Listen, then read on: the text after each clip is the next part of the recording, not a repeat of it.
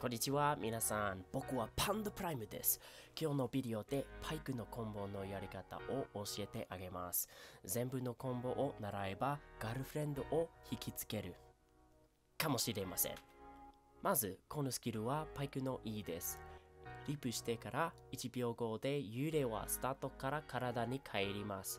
幽霊はチャンピオンを触ったら、チャンピオンが全然運動できません。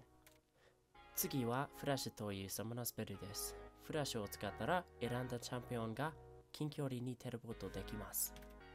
最後の必要なスキルはパイクのアルティメットです。スキルは地上で X を作ることです。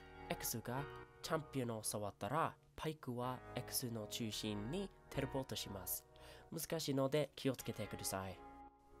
じゃあ、コンボを習うことを始めましょう。1番、1つコンボ。相手を驚かせたかったら、E をしてからフラッシュできます。相手がいつも走るし、時々私たちが逃せるから、このコンボは最も信頼できます。2番、2人コンボ。同じアイディアだけど、できるために練習しなきゃいけません。